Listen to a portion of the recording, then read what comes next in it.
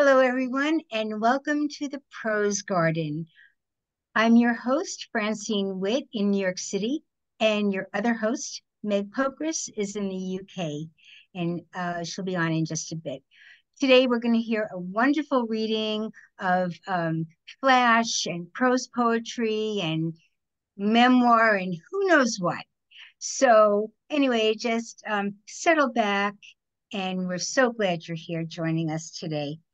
Um, I'm going to start. We like to, Meg and I like to sort of warm it up with a micro each, just to kind of get things, uh, you know, so, so you're settled in, nice and comfy. Okay, mine is a sort of, a, I think it's a prose poem. It's one of those prose poem micro things that we're never really sure which is which. Um, definition. The little boy asks his family what a lemon is. The mother mostly apron, says, Oh, I use it in my cooking, also to sprinkle on fish. The father, who is rumpled like the evening paper, says, Ha, a lemon is the car your mother's brother sold me. Boy's older sister is boy drunk and says she used lemons to bleach freckles off her face and also to blonde up her hair. The boy then asks about his grandmother I'm sorry, the boy then asks his grandmother what a lemon is. She is round shouldered and pucker skinned. She only comes downstairs once a day now. Other times, she is in the attic where she lives. A tiny window, a tinier view. She says the sun is a lemon, sometimes a slice, sometimes a wedge. It fits different each day in the window, and each day a little less yellow than it was the day before. Thank you. Um, and I also um, encourage everybody to use the chat and um, put any any comments. People love to see comments. Okay. Well, thank you. And now I'm going to turn it over to my lovely co-host um, from Scotland, um, Meg Pokrass. Thank you so much, Francine. It's really exciting to have you all here tonight. I'll start with a micro of mine called Animal Loops, which appeared in Gone Lawn. Animal Loops. Bob, in his nice suit, opened the door when he heard the scratching, and at first he didn't see anything at all. He didn't see anything at all because the sound was a light scraping of a rat. The rat, cold in the wet and terrible night, was trying to get inside. Trying to get inside, this was clearly someone's escaped pet. A pet who needed immediate care and rescue, thought Bob, who had been living in a mental desert since the death of the Flemish rabbit, Yvonne. Yvonne had passed away right after Bob had folded up her new little bedding blanket when he turned around, and she was like a piece of common fluff, no longer his living animal no longer his living animal. Bob remembers touching the rabbit to see if she was cold, picking her up and holding her near his heart. Near his heart, it hurts since the death of the rabbit, and he was pleased to see that a rat had found its way to his front door.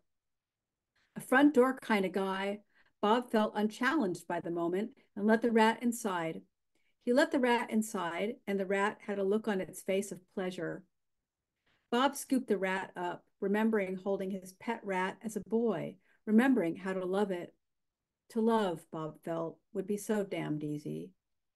Easy does it, he said to the rat, who bit him on the hand, drawing blood. So I am going to introduce our wonderful featured reader tonight, which is Michael Martone. Michael Martone's recent books include Plain Air, Sketches from Winesburg, Indiana, The Complete Writings of Art Smith, The Bird Boy of Fort Wayne, edited by Michael Martone, The Moon over Wapakoneta, I hope I pronounced that right, Brooding and Memoranda. His stories and essays have appeared in Harper's, Esquire, Story, Antaeus, North American Review, Benzine, Epoch, Denver Quarterly, Iowa Review, Third Coast, Shenandoah, Bomb, Story Quarterly, American Short Fiction, and other magazines. Michael Martone is now emeritus professor at the University of Alabama, where he has been teaching since 1996. He has been a faculty member of the MFA program for writers at Warren Wilson College since 1988. He also taught at Iowa State University, Harvard University, and Syracuse University. Welcome, Michael Martone. Hello, hello. Can you hear me okay? All right.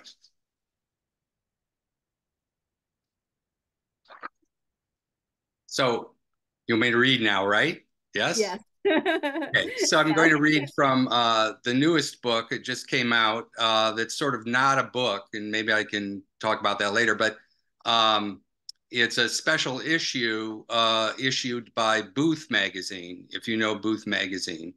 And um, the uh, the book is called Table Talk and um, Table Talk and Second Thoughts, and it's a collection of uh, prose poems, anecdotes of my 40 years of hanging out with uh, really great writers. Um, and so uh, great writers and just writers. Um, but it is uh, kind of, um, uh, these little anecdotes are um, what? Uh, a minor writer sort of in the presence of greatness, I guess. Um, so I'll just read three of them, uh, very short, um, and the three Nobel Prize winners uh, I've met. A, a, table talk is, uh, it goes back actually to Martin Luther. That was the first table talk, and it's a subgenre of the memoir. memoir. Um, so a lot of these, uh, as many of you know, uh, a reader comes and reads and then goes out and has drinks or has dinner, and at the table, things happen. Cake, I 35, Iowa, 1983. Iowa State University lent me a car. I didn't have a car to go to Des Moines Airport and pick up me, uh, Miłosz and drive him back to Ames for a lecture and a reading. A Polish math professor went with me.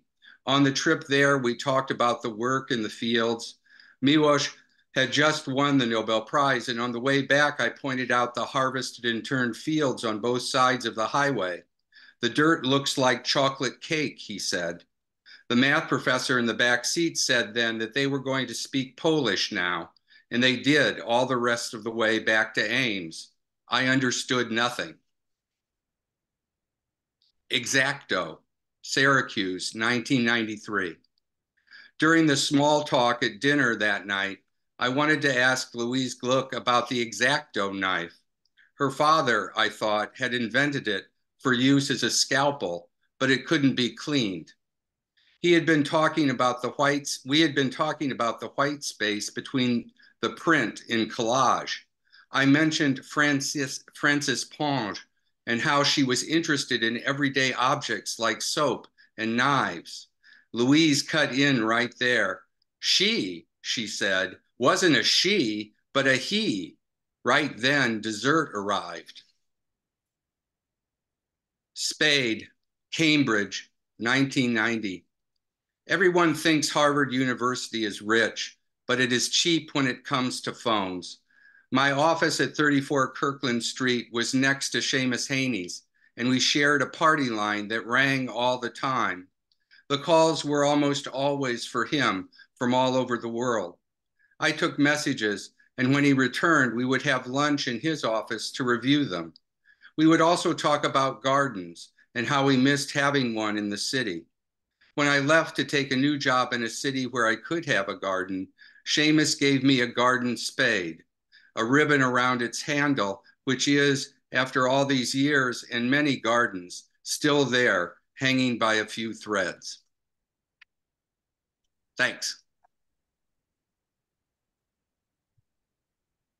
is is okay great well thank you so much michael it was amazing to hear you read your work i have ah. been a fan for many years um it was a slightly shorter reading than we were expecting that i just want to make sure that you're that you've read oh yeah um, no i didn't i knew that we're there are going to be a lot of readers so i wanted to oh you know, okay that's so, that's so kind okay well anyway it was that that was wonderful I was wondering if you can tell us a bit a bit more about Table Talk and and how it evolved.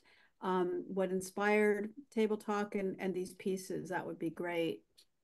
Yeah, um, I have another book um, that is called uh, Michael Martone, and I always say I like books that have titles, you know, that are names: David Copperfield, um, Jane Eyre, Michael Martone.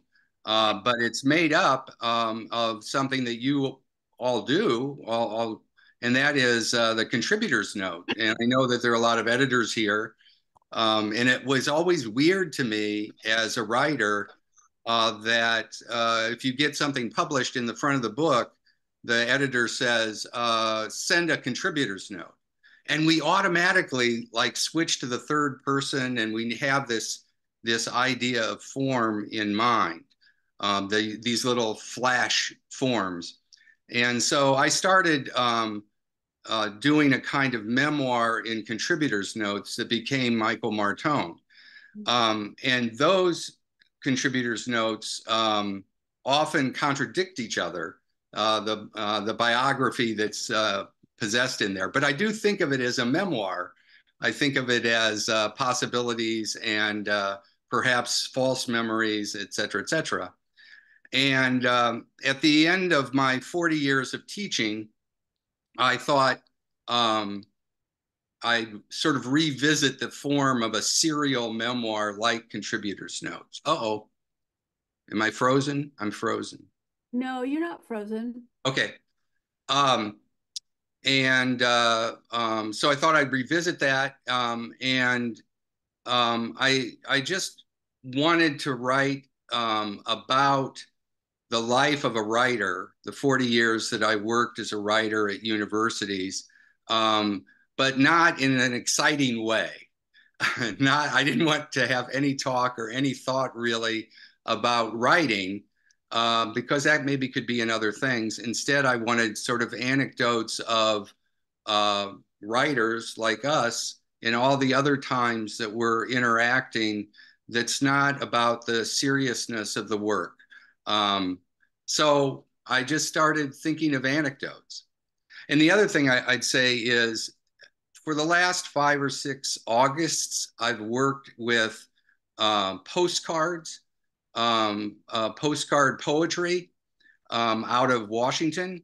And so these uh, particular anecdotes, uh, the form I wanted to do was be able to put them on a postcard, typed with a postcard, an anecdote that short and in a way kind of boring, but just still stuck in my memory.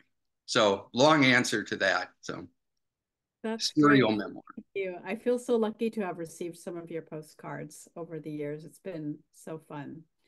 Um, many of us are fond of your regular Facebook posts about chair of the day and various photos of people, including yourself, wearing hats. I so enjoy these quirky collections of yours, and thank you so much for sharing them with us. Can you talk a little bit about how all of that got started, your Facebook posts and your collections, chairs of the day and hats? Yeah. Yeah. Um, I, I, always loved a quote, and I can't find it now, of course, but I, I attribute it to uh, Donald Barthelme, who said, I want to be on the leading edge of the junk phenomena.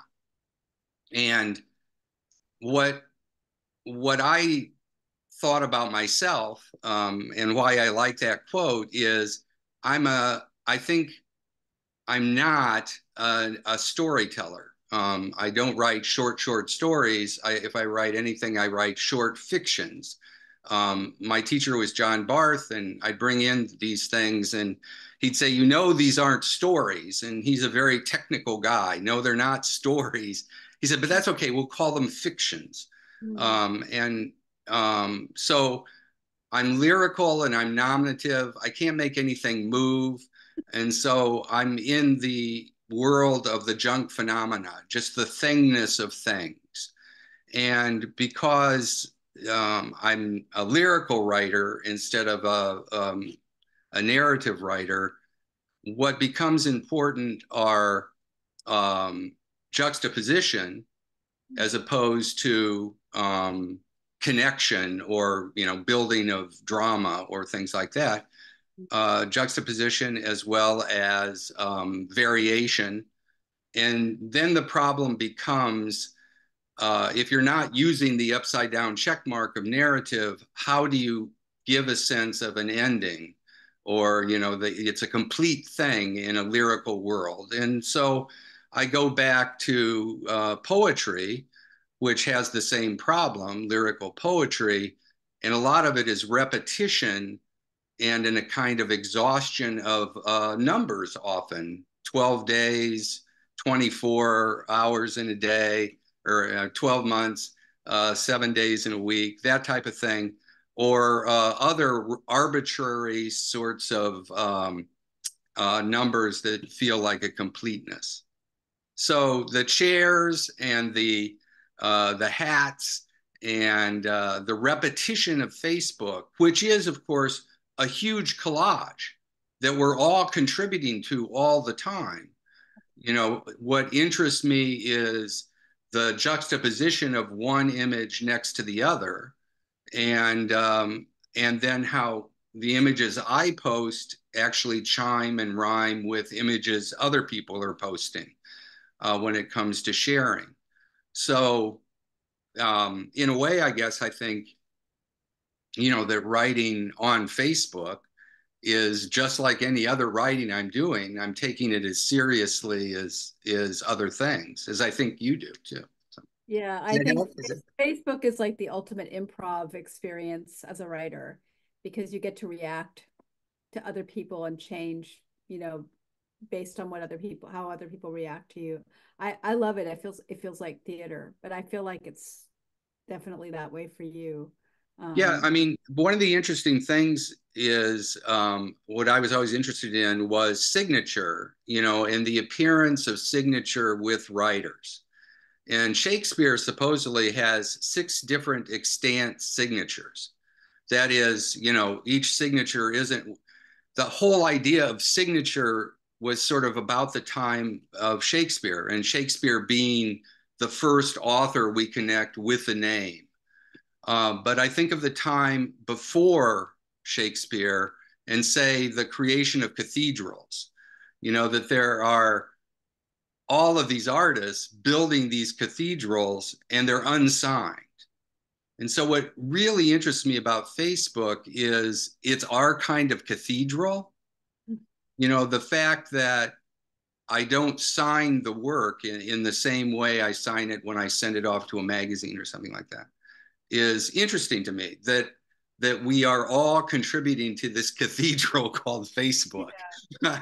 I mean, so it's pretty wonderful. Yeah. Oh, thank you. I was wondering what is next for you these days. What what are you working on now?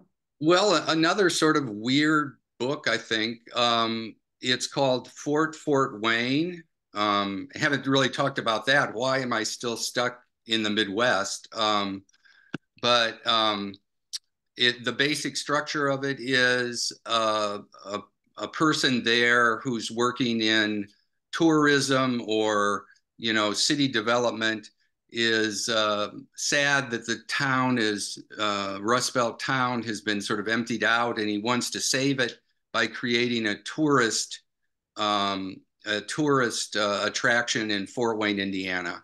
And he comes up with the idea that Fort Wayne, Indiana will be the only walled city in North America. Well, actually, that's not true. Montreal is, but uh, or Quebec is. But it'll be a walled city that people will come to visit the wall that will now be built around Fort Wayne, Indiana. So it's a book of forts. It's a um, book of walls, which is, you know, thank you, former President Trump, for putting walls in our minds again. But it's all about walls, all about brick, all about making walls, uh, the history of forts and fortifications. So that's what I'm working on. How exciting. Thank you so much. Thank you. Thanks for having so me. fun having you here. Such such an honor. Um, well, Great. Well, I'm going to go ahead and thanks so much, Michael. I'm going to turn it back to you now, Francine. Thank you. And thank you, Michael. And I just want you to know um, that the first time I met you was at uh, the, uh, I think it was at the postgraduate um, Vermont College because I had got my gotten my MFA at my, Vermont College, and I saw you at a reading, and you were reading from your contributors' notes from Michael Martone, and that's how it, that's what first struck me about you. So very, it was wonderful, and just great to hear your insights on everything and, and about and about your work. So thank you for being with us. Thank you so um, much for the invitation.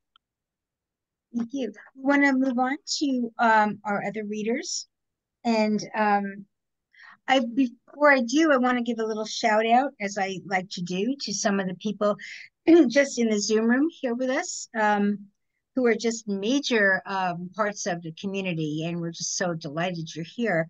Uh, Lorette Luzajic, Dawn Steffler, Michelle Ross, Josh Jones, Jessica Klimesh, Epiphany Ferrell, Tim Horvath, B. Knightley, Caleb Cloud, Je uh, Deborah J.S., uh, Jace Barrel. If I missed you, I'll get you on the.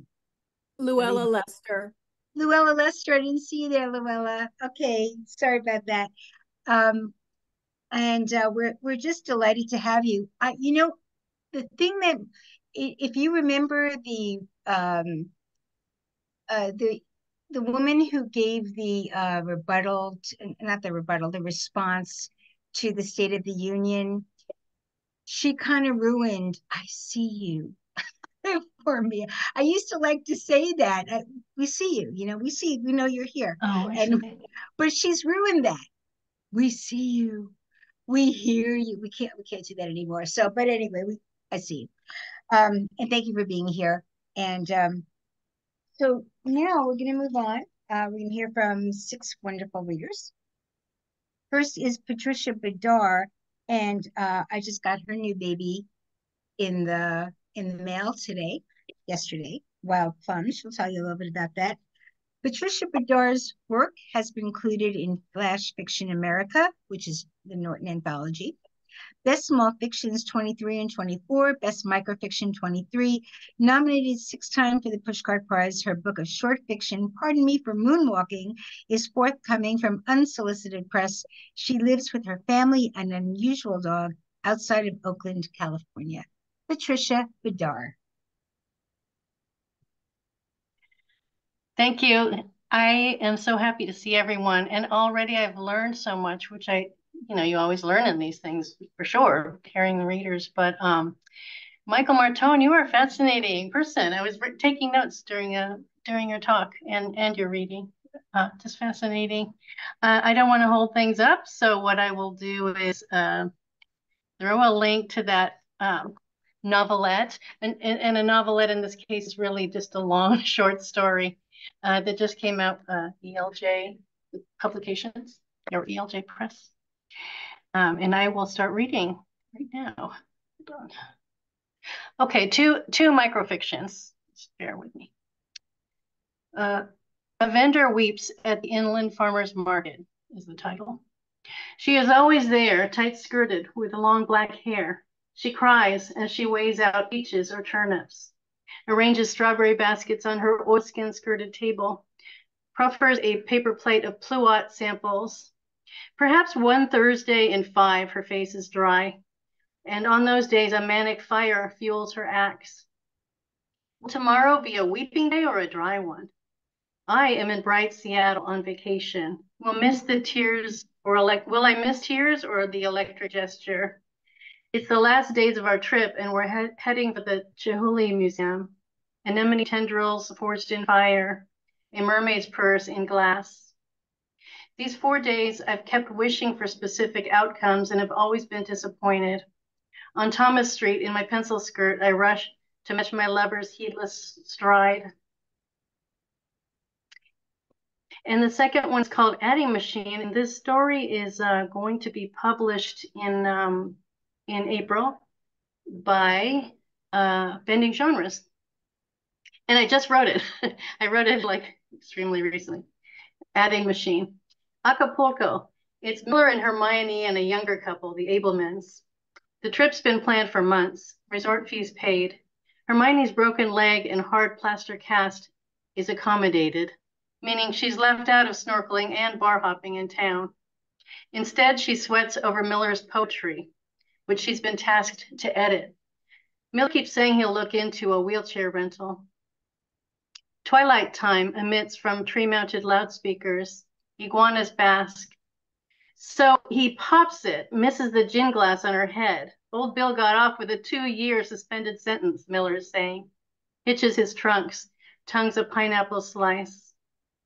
Artists, drawls Daphne Abelman on her back in a web chaise, arms hanging down. Who's William S. Burroughs? asks Buzz Alderman. So fresh-faced. A line of fun hairs run from below his navel to the lip of his trunks. Hula girls. Ho ho! Burroughs, only the greatest living poet, returns Miller, mudding Buzz's hair, disappearing the too white, too straight part. Offed his wife and got off clean. Isn't that right, Hermione? Look out, Daphne. Ho ho! He's much better known as a prose writer, Hermione returns. His glee is no shock. Whatever next, Tangier and hallucinogens? They weren't from social register families. Hermione supports them with her work as a bookkeeper. Hermione's been brought a plate of skewered shrimp and oddly a bowl of fruit. She strips the skewer with her naked mouth. The courteous pool man brings another round of mescal drinks. Hermione slugs hers, lifts her glass to signal for another. Daphne's fully collapsed while uh, while um, Hermione watches Miller, Miller and Buzz sway to little Anthony and the Imperials. The wet heat, silhouettes of iguanas, the shh of palm fronds. When Hermione opens her eyes, the two men are chest to chest near the edge of the pool. The hula girls still barely visible. Senor Miller, time for our William Tell act. Hermione winds up, let's fly. Her third pitch connects. An apple appropriately. It connects with Miller's jaw. He goes down hard. The pool man appears, removes every dirty plate and glass. The pool lights turn off, then on, then off, then on, the way theater lights link before the final act begins. Thank you for listening and thank you for inviting me, Francine and Meg. Thank you, Patricia. That was really wonderful. I, don't mute yourself yet because I wanted to just ask you um, what you have coming up and uh, where we can find you. If we wanted to buy, uh... um, I did. Um, I did uh, put the the link for this novelette, Wild Plums, um, in the chat, and I, I do have a website, patriciaqbidar.com. Great. And yeah. So we'll look forward to uh, to hearing you in the future. Thank you for being here in Thank the Prose Garden. Lovely to have you. Um, and um, Michael, back to Michael Martone, back to you.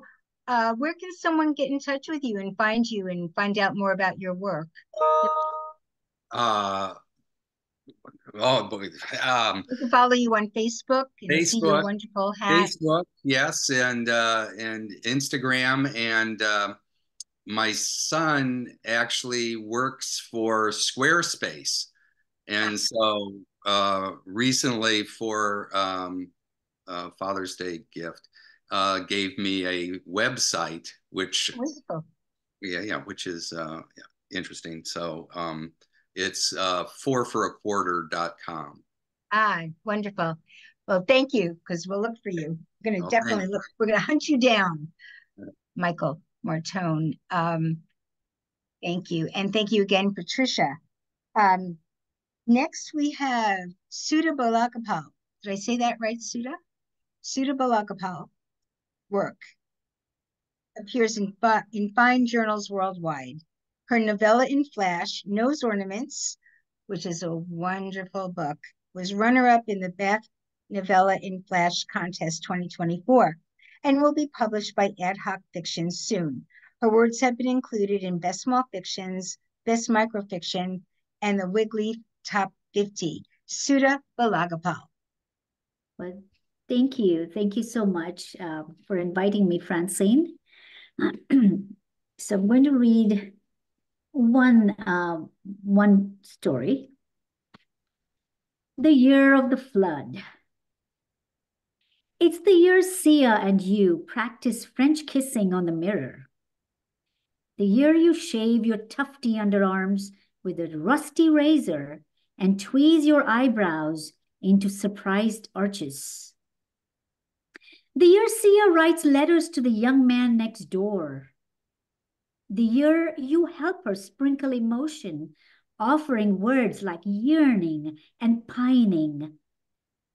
The year the mighty Ganges shrugs off her embankments after a long, hot summer.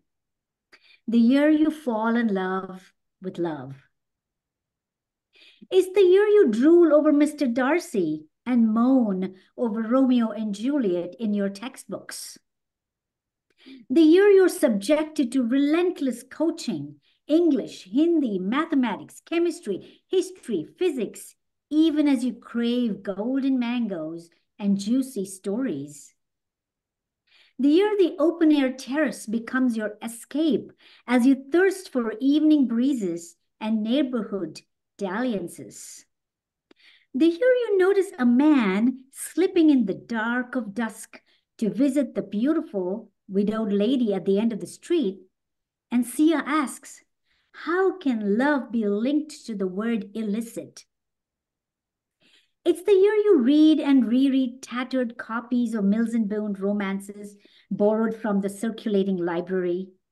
The year biology homework languishes, even as Amma, a school headmistress, repeats, procrastination is the thief of time.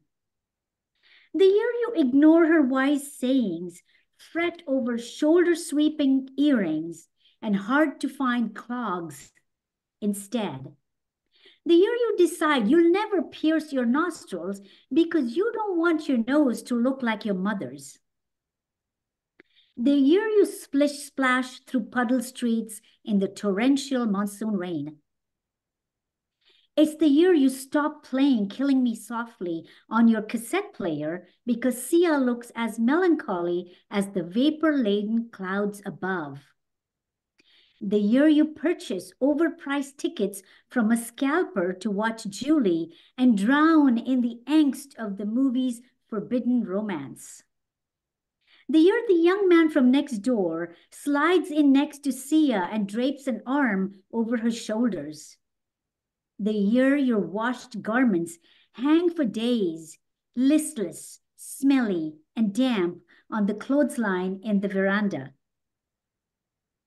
It's the year you practice draping a sari and strut on your driveway, pretending to be an auntie, even as Sia struggles with homework the year she whispers on the phone just once, I feel hopeless, with the three breath pause between the hope and the less. The year no one from her family will answer your knocks on their door. The year Amma says Sia was married off quietly in another town, it's for the best. The year you ask, ask, ask, what's best about it? What about love? and Amma stands straight to respond, yes, what about it? As if book life and real life are unrelated. The year she notices Sia's befuddled young man hovering and tells you, you're known by the company you keep. It's the year Aman you gasp as the angry, swollen Ganges invades your home. The year you flee to the terrace above the year you lean over the parapet, the year you watch your favorite things, shoulder sweeping earrings, clogs, Pride and Prejudice, Romeo and Juliet, and tattered Mills and Boon romances float in murkiness. And that's all I'm going to read, just one. Thank you so much, Sudha. That was beautiful. Um, I love your black and white, by the way. I always think I'm talking to you from the 1940s, which is awesome. You're very film noir. Um, I noticed that, you know, well, I didn't just notice it. I know that this is your second novella in Flash coming out. What is it about? Because you've had another one um, published by Ad Hoc. Mm-hmm. And what is it that attracts you so much about that form? Um, I love Flash. Yeah. And if I want the Flash to become a longer, overarching story, I find a it works in the novella and flash form where each each chapter is the length of a flash but the characters are related in some form so i have the same characters coming up in the stories and then the story moves forward but at the same time there is a brevity and the tightness uh, and i feel that the impact is it's just something I, I love to do. I mean, I start with one flash and I, I I like that flash so much that I want to keep going. So I start another flash and that's how it moves on and it ultimately becomes a longer novella and flash. Well, that's really wonderful. And um, this uh, nose ornaments is just beautiful and look forward to it being out in the world. And where could people find you, Sudha? Uh, on my website, um, sudhabalagopal.com. Um, I'm on Facebook, I'm on Twitter, and uh, you know, so you can find me. Um, uh, I, yep, and I'm here. we so, will certainly be looking for you, Sudha. Thank you so much. I, I just also want to mention, uh, thank you, Francine, for providing the blurb. There are two people that provided a blurb for nose ornaments here. Michael, uh, and Francine, thank you for your blurbs. I appreciate it very much. Also, I just found out that this particular uh, chapter that I read is going to be included in Best Small Fictions 2024. Oh my goodness. Yeah. How wonderful. Congratulations. It's just awesome. Um, thank you so much, Sudha.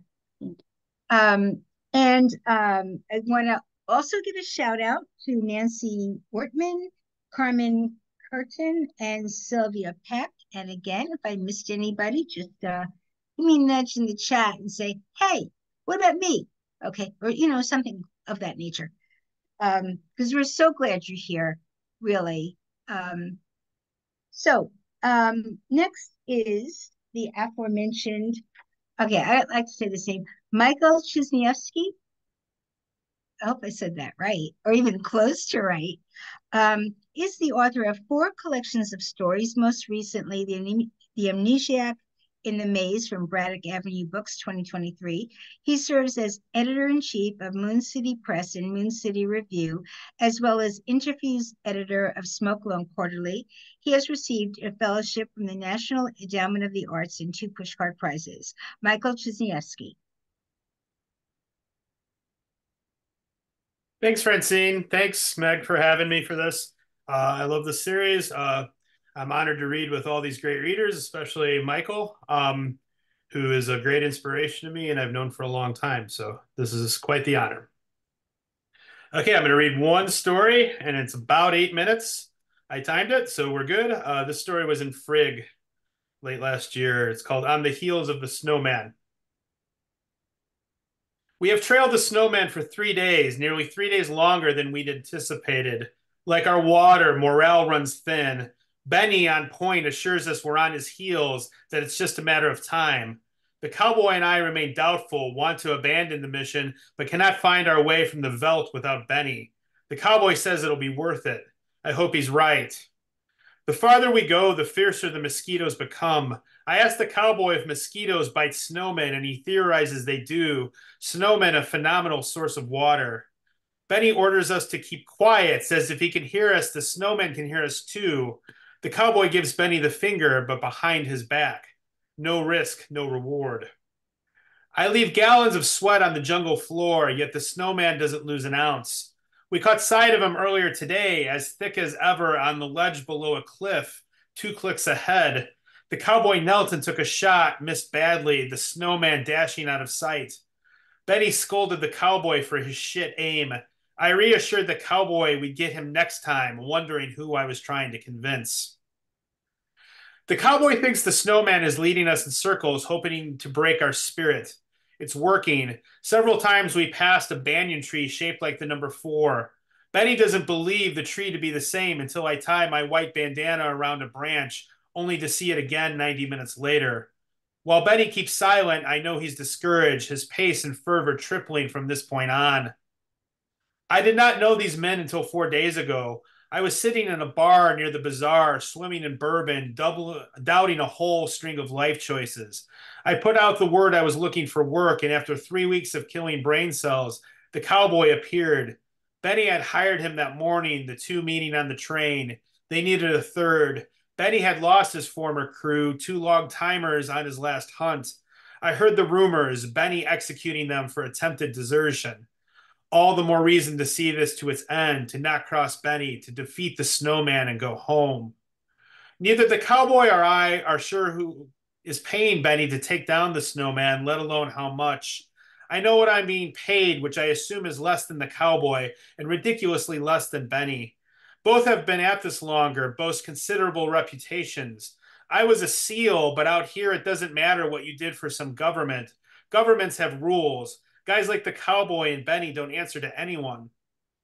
We reached the ledge where we last saw the snowman, where he stood when the cowboy took his failed shot. Benny finds the bullet lodged in a boulder, scrapes it out with his bowie knife, and tosses it to the cowboy. Lose this, he says. It's the first time Benny has exhibited anything resembling a sense of humor. Benny attempts to recreate the shot, gauge the snowman's path. The cowboy, in the meantime, spots something on the ledge a carrot. I wounded him, the cowboy declares. The cowboy walks to the ledge and immediately slips, arms flailing, falling to his death. Benny approaches the carrot spread eagle. Ice, he says. He picks up the carrot, flicks his tongue along its length. Fucker used his own nose as bait. This confirms what we've known for a while. As long as we're tracing the snowman's steps, the snowman has the advantage. We need to hunker down, wait for the snowman to come to us. Benny sends me into the jungle, tossing me the machete from his hip.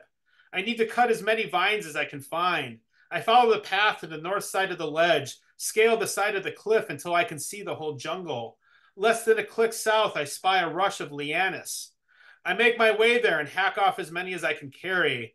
On my way back, I hear a human scream Benny. I drop the vines and sprint back to the ledge. Lying in a half dug foxhole is Benny's corpse, an icicle as long as and as thick as my arm poking through his chest. Within minutes, the weapon has melted. It looks like Benny has been stabbed by nothing.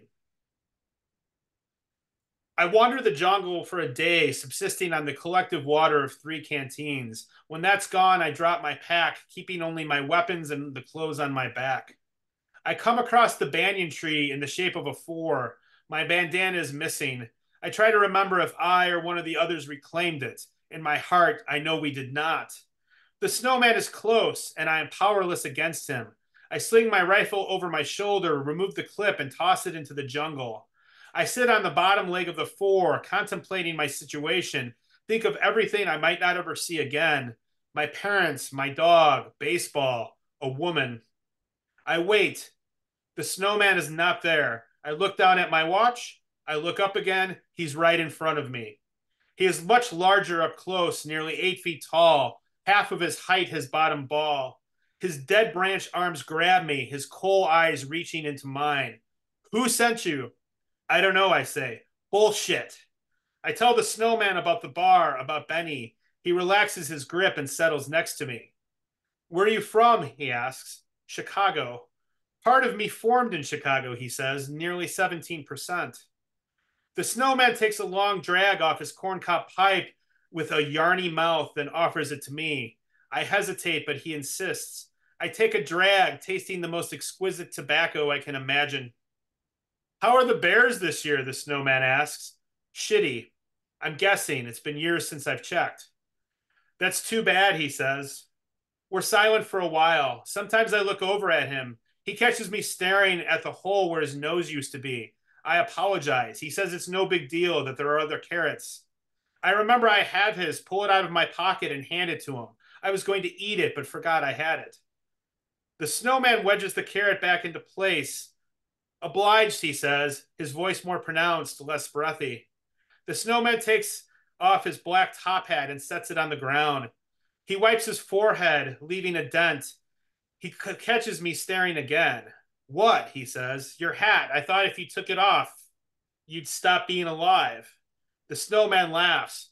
You watch too much TV.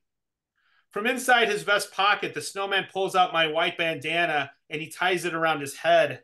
I look at the top, uh, his top hat on the ground, kick it with my toe. Do you mind? I ask. Not at all. The inside of his hat is lined with silk. I put my hand in and just feel the smooth material, cool to the touch, like silk sheets. Go ahead, the snowman says. You know you want to. I lift the hat onto my head and pull down. It fits you, the snowman says, that begins to roll away. I'm sorry, he says to me. For what? I feel it. The coolness of the hat turns to cold on my head, inside my skull. I try to lift my arms to take off the hat, but see they are freezing. I try to stand, but can't. My legs freezing too.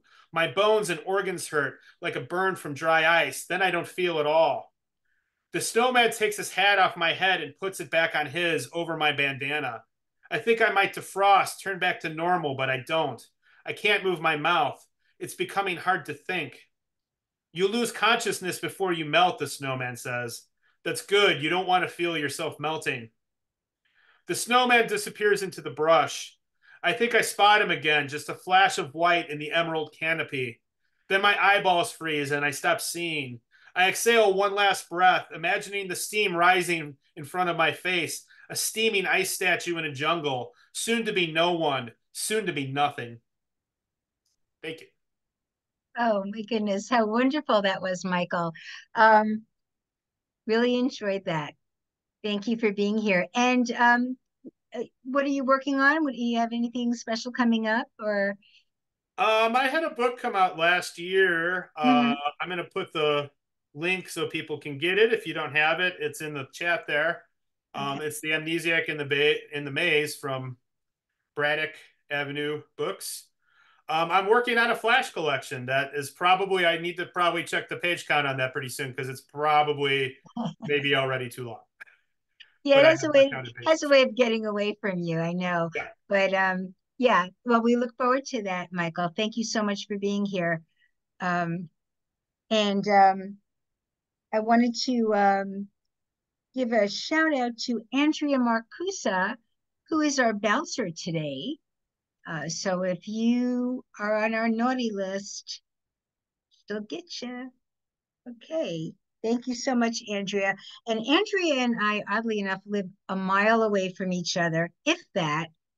And we see each other more at Zoom readings, you know. So, but to say thank you, sometime I'm going to take you out for coffee again. So we'll meet up. We're going to change that, Francine. We'll for sure.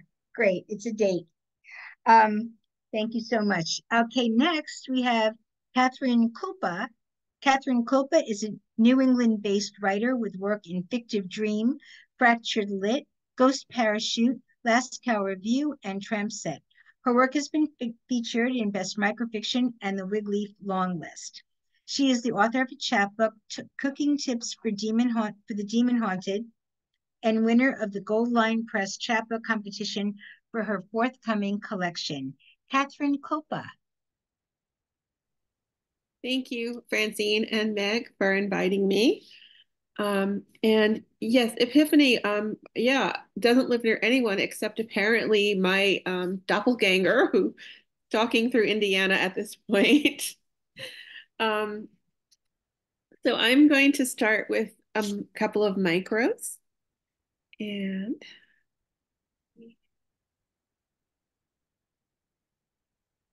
guest house. Those years you lived in his shadow, candy colored cottage by the pool. You couldn't get mail delivered because he was still married, technically. You'd float on your back, searching for stars, underwater lights bioluminescing bare skin, waiting for your sullen troubadour to call.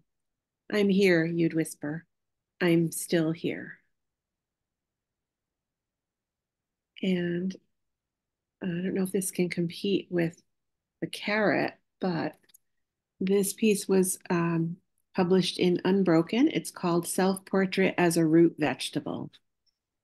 Not the perfect ear of corn plucked from the field that morning, dew still on the stalk, each kernel firm as a tiny pearl, corn silk gleaming platinum, the Jean Harlow of corn, a silver queen on a silver screen lounging in white satin. Not corn at all, nor just ripe strawberries, jewel red, exhaling their dense perfume of musk and honey, bee buzzed summer meadows, evenings in June, not those but a fleshy rutabaga, hard skin, dull with dirt, only a bristly brush could remove.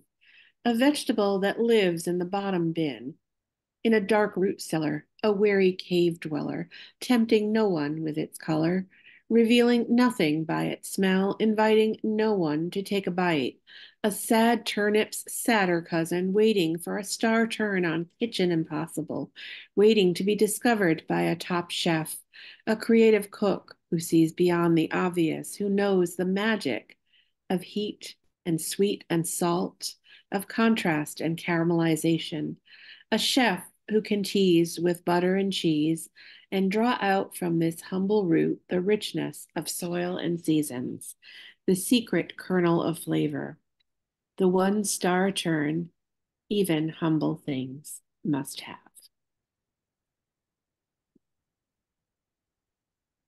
Okay, and I am also I'm going to finish with a story that was published in Fictive Dream during Flash Fiction February, and it's called But You Can Never Leave. When winter comes, the clothesline tent moves from the backyard to the cellar, and there it stays. In our northern world, winter lasts six months or longer if it's in a mood. The cellar is grim and gray, exposed pipes and a cold cement floor, bare light bulbs with metal pull chains. But the tent is our own California, a pool float with a palm tree, our lawn ornament. Rope wraps around foundation poles, and draped from the rope are cotton sheets, washed thin, faded bedspreads with wild floral prints, all of them clothes pinned together, ragtag, crazy quilt, a floor softened by old sleeping bags and cushions from a sofa that moved from living room to den to the side of the road. Someone picked the sofa up, but not before we liberated the cushions. Inside the tent, flashlights throw palm tree shadows on fabric walls. OP and Coppertone ads torn from magazines make our windows. It's nighttime, even during the day. We are awake even in our dreams. We are spies, commandos. We call ourselves the Borrowers Club. We only take what we need. C batteries for our boombox, single serve boxes of cereal, tiny bottles of rum and Grand Marnier, used for flavoring cakes, but also quite acceptable in orange soda. Here we are forgotten and free. The light filtered through the faded bedspread is dusty and diffused, a desert light. When this bedspread lived on our parents' bed, our father slept under it. If he hated the big splashy flowers, orange and yellow and lime green, he never said. Now, the man who will be our stepfather makes our mother change the girly curtains, covers our butterfly wallpaper with plain white paint. He watches us, plotting which parts of us to change. In the cellar, he can't change anything. It's where we go to make ourselves small, make ourselves not seen, not found. Like butterflies under construction, we hide in our tent cocoon, waiting for the day our wings stretch wide enough to carry us away. Each year at the end of summer, we would try on last year's school clothes, and our mother would balance a ruler from our heads to the wall, lines showing how tall we'd grown penciled on that wall. Growing like weeds, our mother would say. The man who will be our stepfather hates weeds, pours gasoline on them to kill them. Now we line up head to head inside the tent, but leave no mark of how we've grown. Our job now is to be invisible, like the lint people from stories we used to tell. They lived behind the dryer, took soft fuzz from the lint trap, formed it into clothes, faded into corners when you turn the light on. When something red had stained the fluff in the lint trap pink, we rejoiced, knowing a little lint girl would have something to wear that wasn't gray. No one can hear us, probably, but we whisper anyway. Never turn the volume on our boombox past two. We can hear everything that happens upstairs footsteps, TV laugh tracks, toilets flushing, voices raised. Do you mean to tell me you can't discipline your own children? We lean in close to the boombox. The cassette hisses, scraps of a DJ's voice caught at the start of a song we taped off the radio. We disappear ourselves into story. It's because they're dead, we say. They're all ghosts, and the hotel is hell, and that's why they can check out, but they can't leave. Ghosts are invisible, faded like an old bedspread, like our mother's eyes this last year. We can try to be ghosts, but we know we're weeds. We will grow and grow. One day our tent won't hold us anymore. On that day, we'll dream ourselves a new home. We will tiptoe away, silent as girls in soft lint shoes. Thank you. Fantastic, Kathryn. That was really wonderful. Um, so do you want to tell us a little bit about your upcoming collection? Um, sure. My most recent collection is uh, Cooking Tips for the Demon Haunted, which was published by New Rivers Press, which alas is no longer in existence, but I'm still selling copies. Um, there's a link on my website. I have an Etsy shop, or you can just PayPal me. But I have two more. Um, I have a micro chapbook coming up from Pork Belly Press. I'm not sure of the publication date yet. And then I just won the um, chapbook contest from Goldline Press, which was super exciting. And that is, I think, either 2025, uh, most likely 2025, but possibly even 2026. So um, you can just follow me at kathrynkulpa.com and I'll post any updates that I get. Well, thank you so much. And I know you've been uh, really a wonderful editor at Cleaver. And, um, you know, along with uh, Andrea. And so um, thank you for that. Thank you for being such a wonderful editor there. Um, thank you. So thank you for joining us today, Kathryn.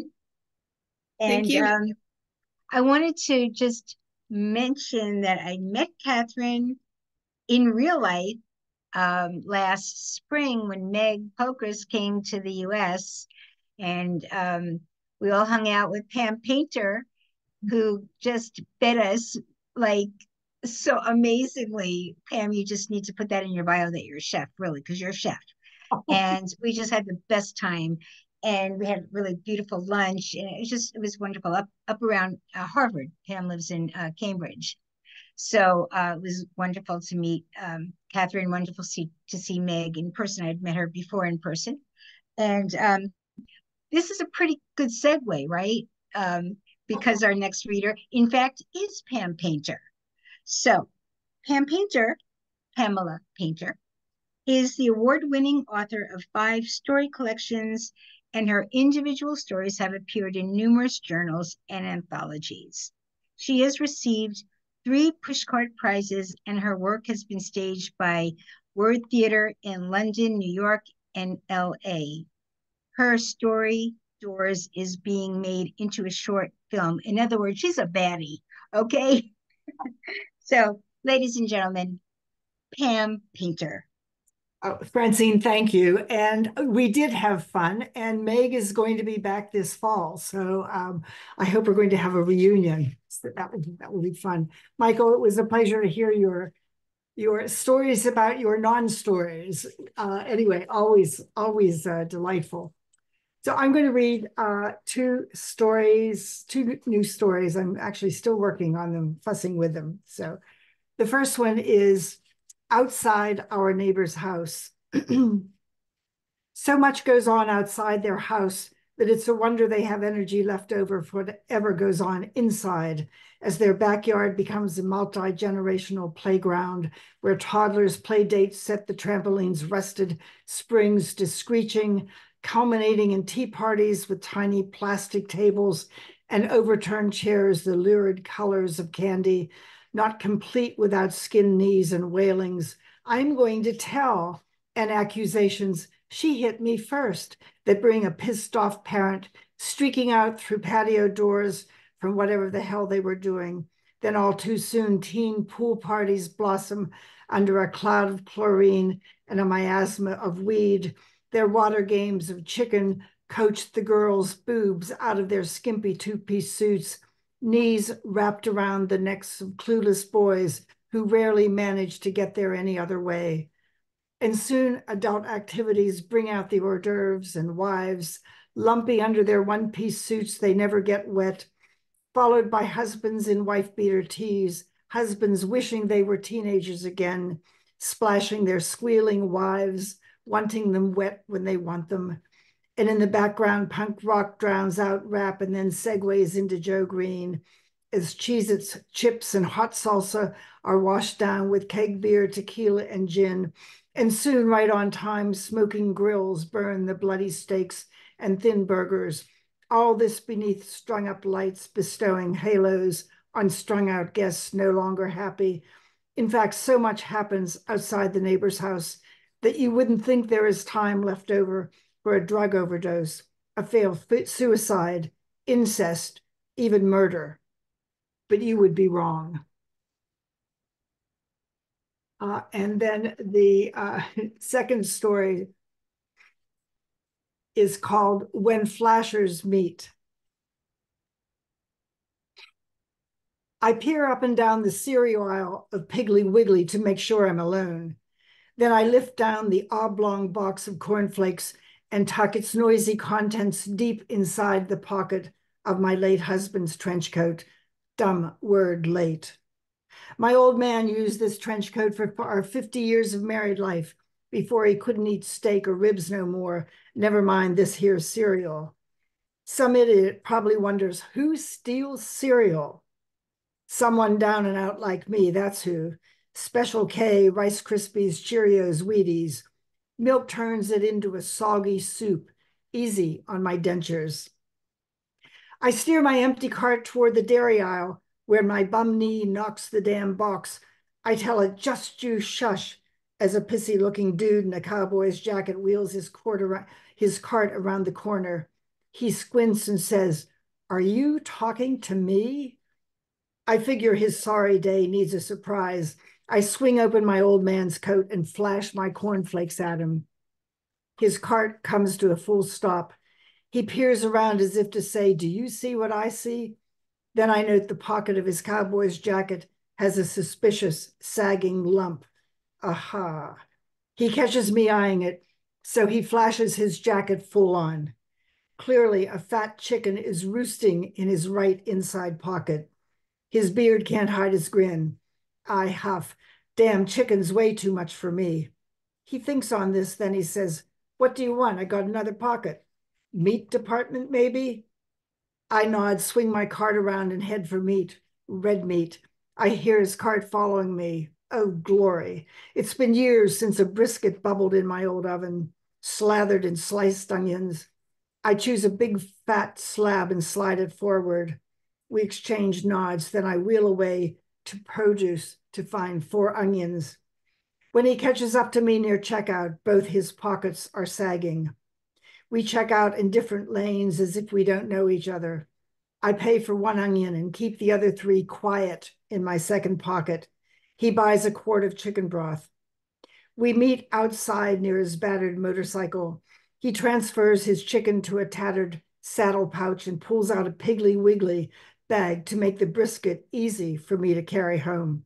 I give him an onion. Well, he says. Well, I say. We aren't partners.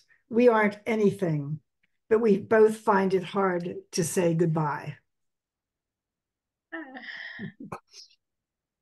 It's wonderful, Pam. Thank you so much. I love a good supermarket story.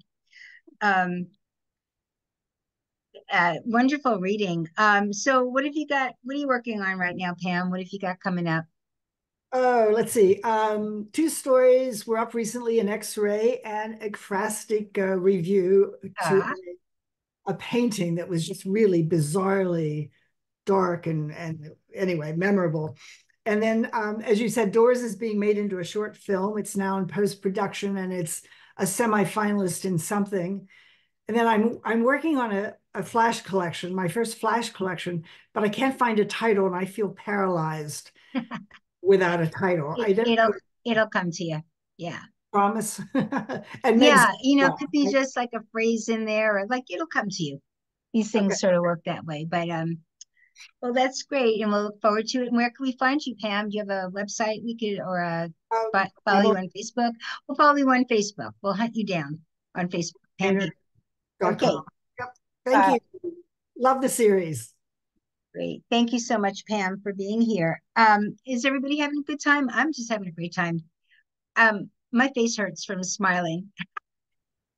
I know my face hurts. It's killing you, right? Okay, fine. Okay. All right.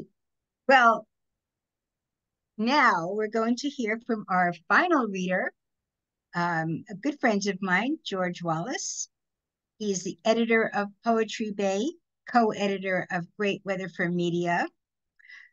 And he is the editor-in-chief of Flash Boulevard. You left that out of your bio, George, but I'm shouting you out. So yes, he's responsible for Flash Boulevard, everybody.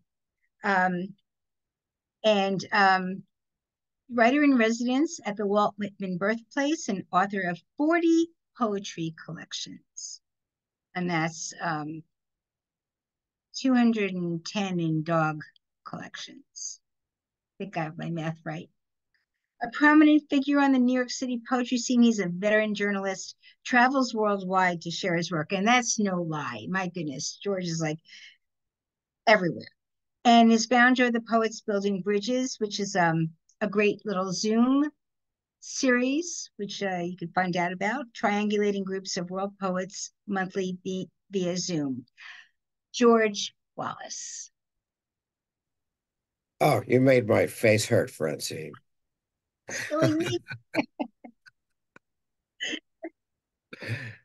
thank you for uh, asking me on. Uh, thank you, Meg. And it was a delight to hear Michael Martone for the first time. I was very impressed with his uh, conversation at the end, especially. So um, I'm glad to contribute a couple of minutes of poems which um, may pass for prose in some way and get through the, you know, get through uh, on, on Prose Garden. I'll read them very quickly to you. Thanks for the opportunity. Einstein in the Park. Einstein was in Central Park by the Green Pavilion feeding peanuts to squirrels from a brown paper sack. A small girl watched from the opposite side of the lake. Envious, shy, and alone, what is that old man doing with all those peanuts? she cried, and a scolding little look crossed her face. What mighty forces are at work in a small child, thought Einstein, and he frowned uh, in her direction. The June wind stiffened in Einstein's hair. A stray flower danced across the lake. Ah, this is a terrible world, thought Einstein. Such a terrible, terrible world to, pr- to bring such a small, innocent child into. And he began handing peanuts out to the squirrels faster, faster than fast, faster than the speed of light.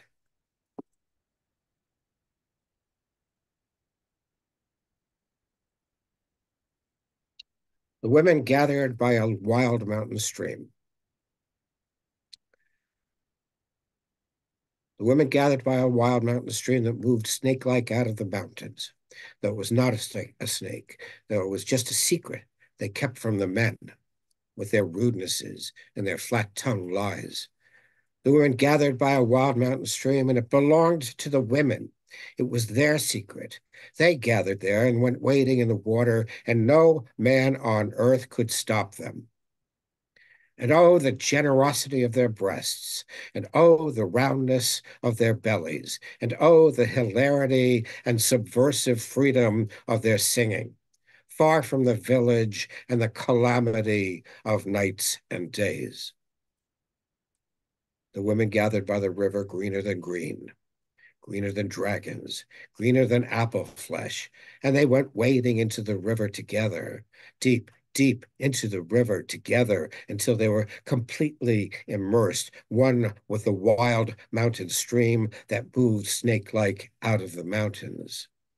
One with a serpentine, one with sweet undulation, so deeply moved, so deeply moving together together, together, their hair loosed, their lips nearly touching. dancing the world around, uh, palm to palm by the fragrant river. And this one, uh, Francine recorded at KGB as we, were, we burned our way to Nowheresville. She needed to rest, that's all. Somewhere which was anywhere and out of the cold, she needed to wash a certain something out of her memory. Something bad that happened back in Guatemala, or maybe just out there in the street and there was not enough light in the candle to burn, but it was New Year's Eve, and New Year's Eve in New York City is supposed to be special. Supposed to be a time of new beginnings and happy endings. It's supposed to be a moment when time stops worrying about itself and considers itself lucky and fine and almost alive. And maybe I could help her with that. Maybe I could buy her a drink she was nearly 18, but she couldn't exactly prove it. And her sister lived in Brooklyn and told her to look for a place with a phone booth. And there was a phone booth in the hallway, but her sister hadn't called yet. And that's why she was hanging around. You see, it took two and a half days on a Greyhound bus to get here. And the people on the bus were stupid and crazy. And the man in the next seat to her wouldn't leave her alone. And this place was warm and cozy, and they just left her alone. Thank Jesus for that. People ought to leave each other alone and just be kind, she said. There was a war back home, and it had ruined everything. The people uh, were poor and the people got angry and decided to do something about it. So the soldiers began coming around with their Yankee guns and the people were dead and dying and the village burned and her brother was dead at the age of 14, a bullet hole through his forehead. And she liked my eyes, she said, they're empty and inviting. Can I just show you how we dance? She said, back in my village. And I said, sure, of course. Why, why not? I'm not much of a dancer, but I could dance to it. It was a dance my body recognized, a refugee dance. And she swung me in her arms like a cradle, like a grave, like we were two shipwrecked sailors swinging in the bottomless pit of the same empty sea. And the weight of the world lifted and lifted, uh, and the phone in the hallway rang off the hook, and time stopped. We burned our way to Nowheresville, and then we sat back down, and it was New Year's Day. Thank you. George, that was amazing. Look in the chat if you don't believe me. that was just beautiful, gorgeous. Um, what have you got coming up? I mean, what oh, just talk about one of the many things, but what have you got coming up? Well, I have a new album coming out. Um, it'll come out on Spotify um, called Nowheresville, and it's got that poem on it. Oh, got, um, wonderful. Yeah, it's live performances over the years in uh, Lowell, Massachusetts, and in Kansas City, and um, uh, uh, Albuquerque, New Mexico, and various locations around the country. So I'm excited about that. Yeah. yeah. Is is that is that poetry that's set to music or? Well, in a couple of cases, you know, it was mm-hmm. like when I was in Lowell, uh, uh, David Amram's drummer was uh, was backing me up, and a bass player was backing me up. So some with music, some without.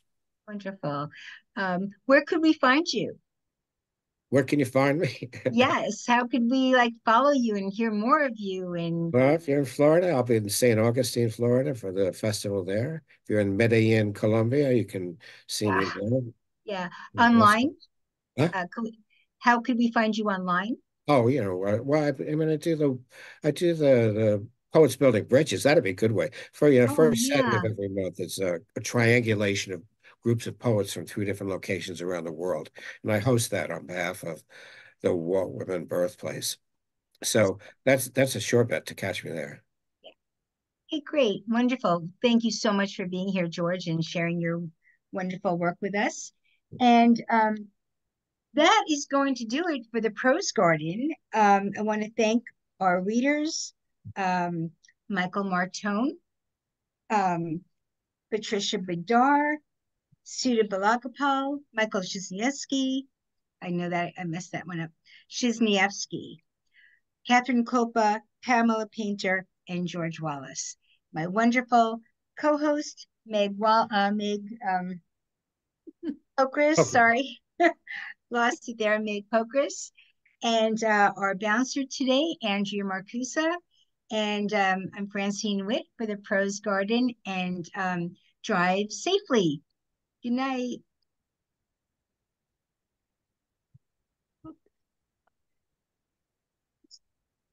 Okay.